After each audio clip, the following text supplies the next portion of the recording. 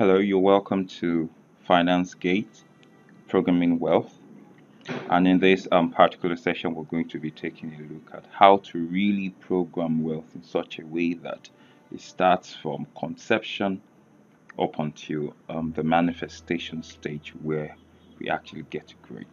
Now, I also have to emphasize the importance of this and for you to actually get to know that this is not um, something easy. If it were, everybody will be doing it now. It's not easy, not because it's difficult, but because it has its processes, it has its protocols, and um, it's, it's got its prices. Okay, there's always a price to pay, and so you have to get to the point where you will be able to pay such prices or give such discipline and intentionality, you know, to what we're talking um, about. So, finance gate programming wealth, that's what, what we're talking um, about today. Now, you also have to understand that um, we will start with a basic introduction of this. This is not a one time course or a one time session, it's something that continues, and that's part of the nature of finance and wealth as it is. So, you have to understand certain fundamentals with regards to wealth because I believe that there's a lot of misconceptions to wealth, especially um, in the society that we have um, today. When we're talking about programming, programming is actually from the subconscious. Okay, now there are different or three compartmentalization of the human mind or soul. So we have the conscious mind, we have the unconscious mind, and we have the subconscious mind. Okay, so the conscious mind is the the part of your soul that engages with a voluntary action. So, things you want to do, you want to stand up, you want to sit down, these are voluntary actions. So, these are conscious action. We have the unconscious things. Okay, so these are kind of like reflexes. You you're not really aware um, it's happening, but the powerful thing is the subconscious. These are the things that most times out of your control, but they have the power that controls you know the eventuality of your life. So during that session we will be touching on some of these things. Now it's important for us to understand what the illustration of wealth is. This gives us good perception you know um, into what we're really going into. So there are three important parts with a, a lot more but three that i'll be choosing to to illustrate for this um, session. So we have seeds okay we also have um, stars and we have um, fetus. Okay, now these three things there are similarities as well as differences, but one of the all of these three things will help you understand um, the concept of wealth with regards to what we're taking a look at in this particular course. So let's start off with seeds. Now, seeds in itself are a coding, they are instructions, they are programs Okay, the moment you plant the seeds in the ground, everything goes to work. Now, you also have to understand that no matter how viable a seed is, there's the ground in which it is working must also be at a particular standard. So, if you have a very good seed with a poor ground, you're not really going to get best from it. If you have a bad seed with a good ground, you're still not going to get anything okay, or anything useful, okay. So while the seed is important, the ground is also important. So there's a point of balance you must get to in order to make sure that you've got good seeds and also you've got good grounds. Now, the second thing is a star. Now, a star is a life, a heavenly life force on itself. It able to use pressure gases compressed with gravity of course. And then there's a fusion or a fissure as the case may be and then there's bursting forth of energy. Now this energy sustains this star over a long period of time and that's how wealth is. Now you also need to understand that just like a seed grows into a plant the same thing with stars. Stars have different faces. At the moment where all of the energy of a star is used up, it becomes a, a brown dwarf or a black dwarf and it dies, even though it might take billions of years for that to happen. the same thing happens with wealth. Wealth can grow and wealth can die. Okay, so you have to understand the process of keeping or sustaining um, this wealth. And we also have a fetus, which is that baby that is growing in the womb of the mother. Now, the baby doesn't know what is happening externally. It is all the mother feeds the baby that determines how well, how developed, how mature the fetus becomes. The same thing happens with wealth. Now, the content of your soul is very important, and that is what feeds your mind. That is what feeds your subconscious, and then um, lets you know the quality of life you're going to live and the kind of things that you attract. Okay, so we talked about um, seeds and soils, we talked about stars and their life cycle, and then we talk about fetus and the need for nourishment. Now, when you put all of these things together, it, it gives you um, uh, a skeletal form of what wealth programming is. But when we're talking about wealth, a couple of things you need to know quickly. Wealth is a code of access. Okay, if it's like a door, right? And you, you need a key to open the door. Wealth is that key. So wealth is not just money. Wealth is relationship. Wealth is capital. Wealth is health. Okay, wealth is skill. Anything that you can use to open doors into bigger, better experiences, that is a, a key to wealth. Okay, and so you must know how to use this. We're going to be talking about this in, in other sessions as well. Um, it is also a system or structure of life. Okay, how wealthy you are will determine the quality of life you're going to live, the quality of network you're going to have, the quality of your association, you know, and all of that. Now, wealth is also um, value in good measure.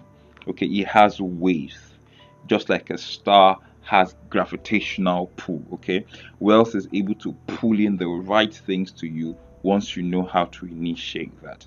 Okay, um, it is also able to influence its environment that's what wealth does, just like a star.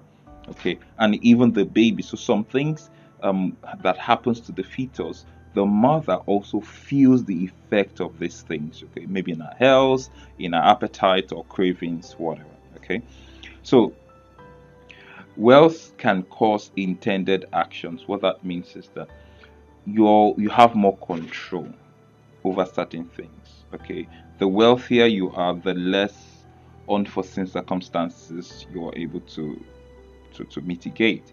Okay, the poorer poorer you are, the, the more circumstances that you don't have um, control over. Okay, so wealth is a construction of the state of your soul. So your soul is very important in in talking about wealth. We're going to be talking about the soul sometimes very soon, but not in this particular session.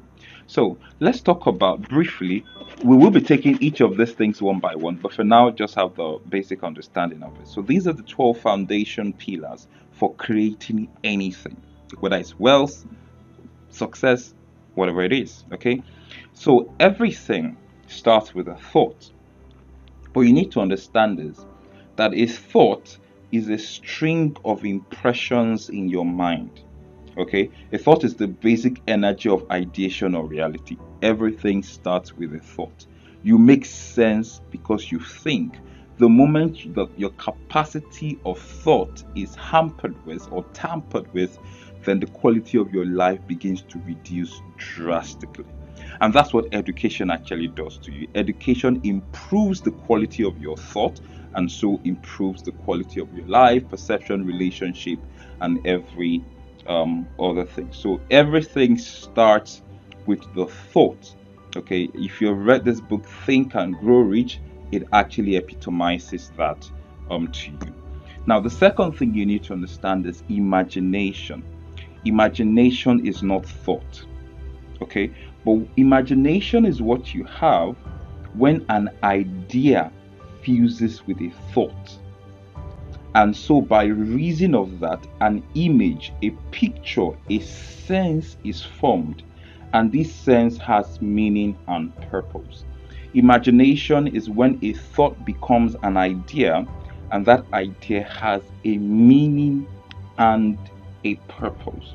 This is very important, okay? And imagination, we're not I don't want to get ahead of, of myself. So, imagination has meaning and purpose.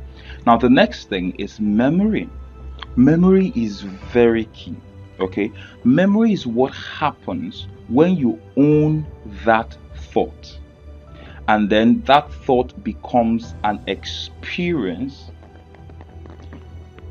that is fused with your soul through memory. So everything that is a memory to you is something you've experienced either directly or indirectly. So these are actually thoughts, realities, relationships, content, you know, that have had access into your mind. And so it it allows you to define or relate to the world in a particular way.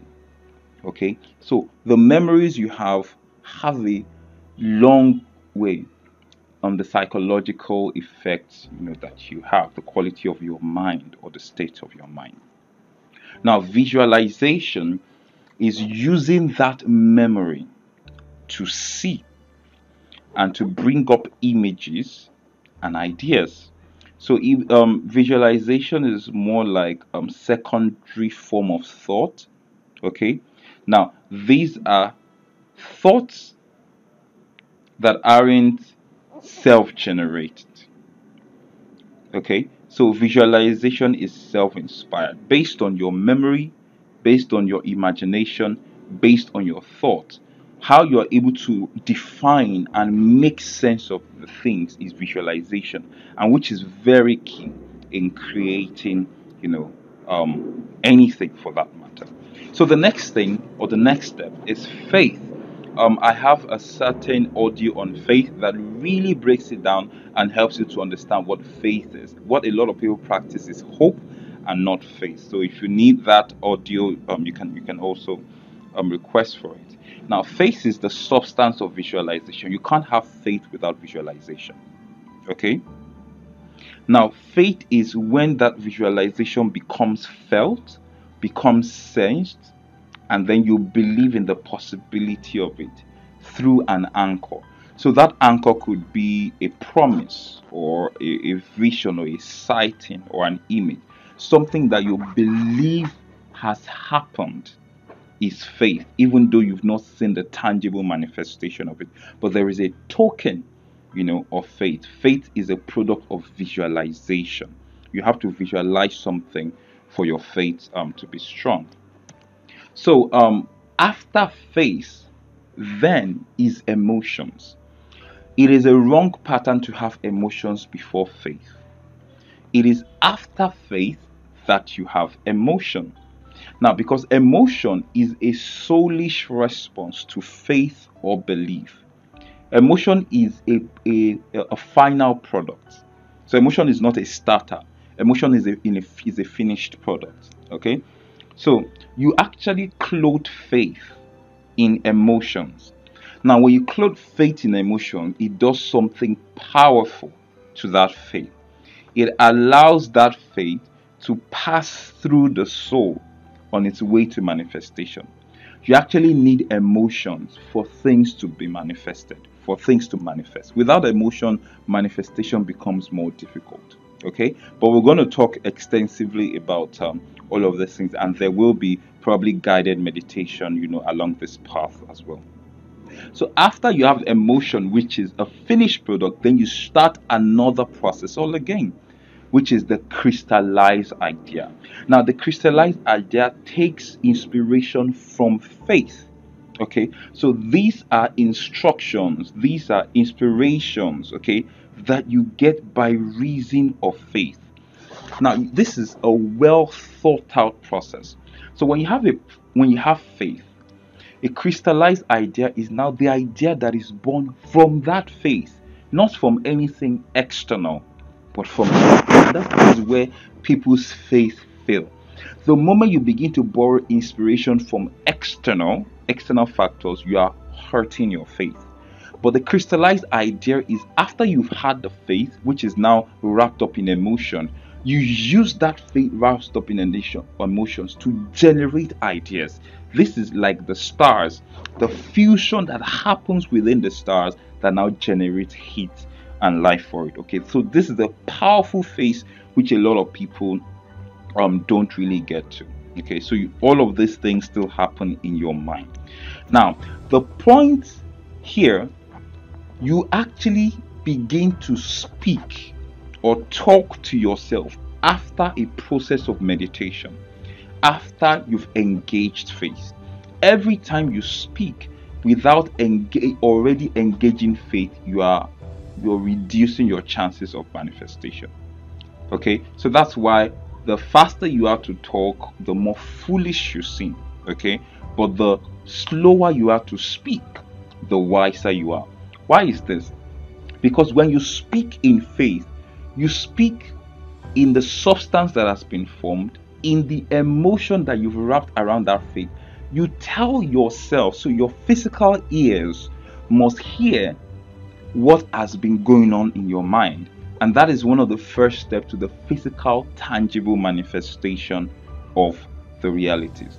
So after you've spoken to yourself, this is when mental work now has to start okay? So this is when you set you, you strategize. This is when you set a goal. This is when you go through the mental process. And this is why the state of your mind is important. You can limit how much you are able to do based on your exposure based on your experience and your level of knowledge okay? So this is where research is important development is important and good sense of strategy and goal setting okay? So when you already set that goal when you already set that strategy that this is what will help you manifest that reality. Then you start building the prototype. So, what are the steps? So, these are the tactical parts of it. Okay. So, um, how do you bring physical materials to create that idea or that goal? What are the things you will need on earth that would help you? So, maybe it's further your education, whether it's a certain relationship, these are the things that you now need to have in order to improve your chances of bringing into materiality that which your faith has already birthed.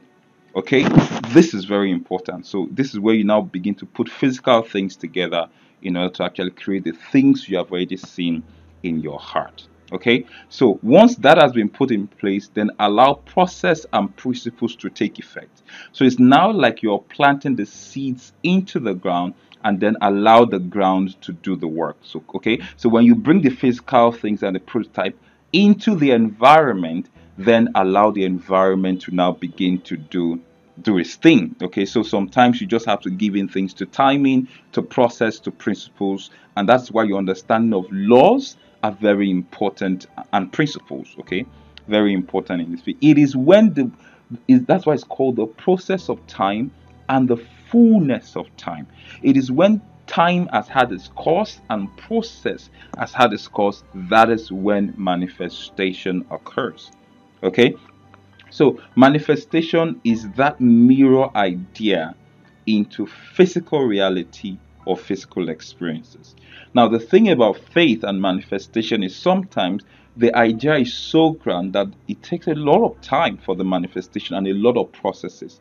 So, if manifestation doesn't happen in your lifetime, what you have to do is to pass on the process of this manifestation into the children and the next descendants via education and practices. Okay, this is very important. Now, how things manifest is from the unseen, then it becomes to the intangible, then it becomes the seen, and then the tangible. Okay, so the things you can touch and feel and all. Okay, so this is the basic skeletal understanding. Okay, so the next sessions now will begin to pick on these things one by one and then demystify it.